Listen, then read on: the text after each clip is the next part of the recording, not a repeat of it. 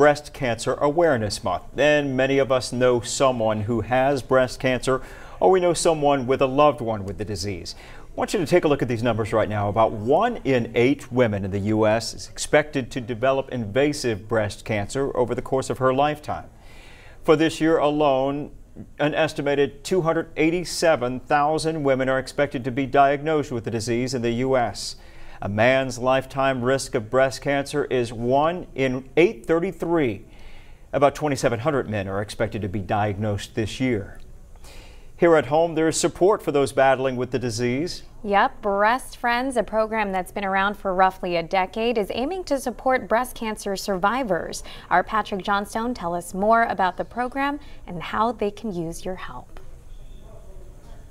35 years ago, I was first diagnosed with breast cancer. 35 years ago, Elizabeth Harden received a lumpectomy, or a partial mastectomy. Since then, she has tried to find a way to live comfortably. It was about 33 years that I went with just trying to fill my bra with something so I'd have some kind of balance. And that really plays a big part in your psyche and how you feel about yourself. About two years ago, she met Amy Goldson, who is the mastectomy fitter for Breast Friends. I can't express well enough how important this has been for me, and I think it would be for anyone who chose to come here. To be able to look at myself and not cringe, it's just a miracle. It really is to be able to feel whole again. The program has been running for a decade, and in that time, Goldson, the only one who does fittings, has fit more than 1,000 women for prosthetics and bras.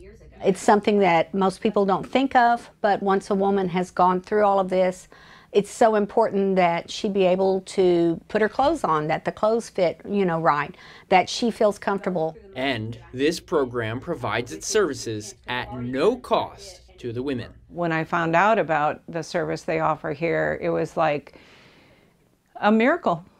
Just was for me, it was a miracle. But the program relies entirely on donations to operate. So what you see here and what we continue to do is all based on the generosity of this community.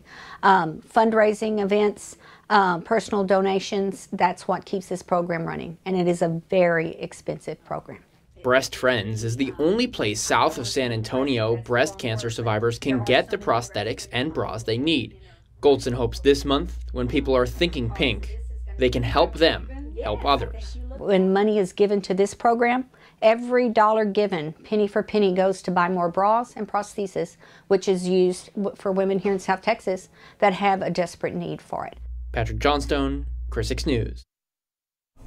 Goldson says on average, bras and prosthetics aren't cheap. For one woman, it costs the program around $250. Wow, and for more information on how you can donate to help this program, head to our website at kristv.com.